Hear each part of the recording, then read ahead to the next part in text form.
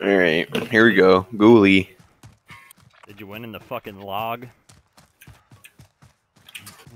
Yep. No way. Mark's on the fucking map. Welcome back to the fucking lobby. I usually win my gulags, to be honest. Like,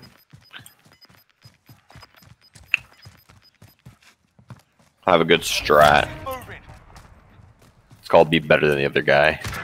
Fuck!